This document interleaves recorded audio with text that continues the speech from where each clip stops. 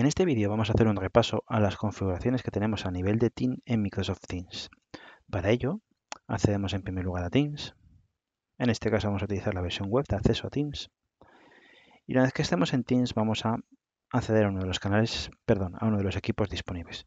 Por ejemplo, en este caso tengo un equipo que se llama Office 365 Engage, un team, y lo que vamos a hacer es hacer clic en Ver Team.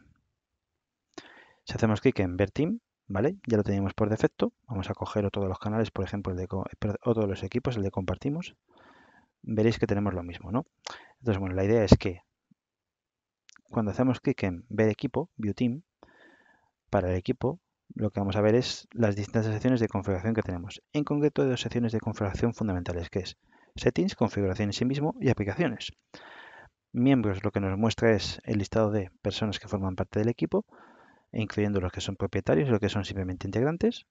Canales es el listado de canales que tenemos y los que están marcados como favoritos. Y en configuraciones donde viene la parte importante de configuración de un equipo de un team.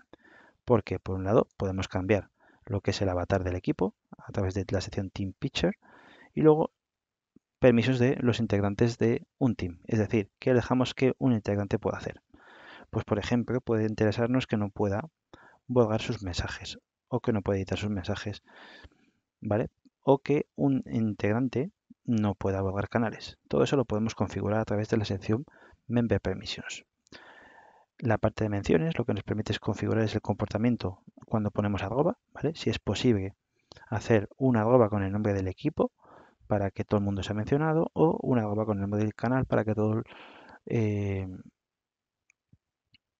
todas las personas que acceden a un canal de un equipo pues sean notificadas.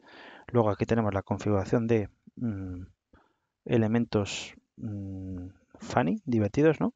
Que básicamente lo que podemos hacer es habilitar o no el uso de GPs, el uso de stickers, el uso de, memes, incluso también como queremos eh, que se modere, ¿vale? Mm, de forma estricta o simplemente moderar pues contenido inapropiado.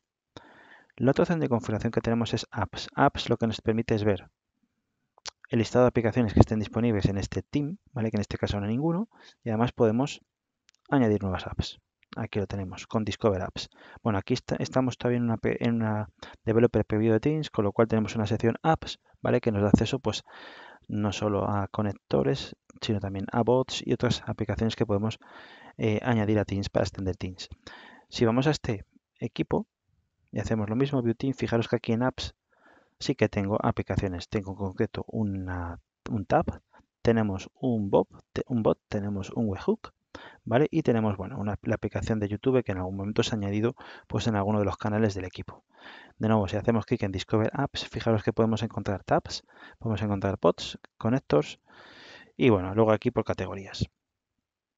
Y bueno, hasta aquí llega este vídeo demostrativo en el que os quería enseñar las opciones de configuración que tenemos disponibles a nivel de equipo en Teams. Espero que el vídeo os haya resultado interesante y nos vemos en el próximo. Un saludo.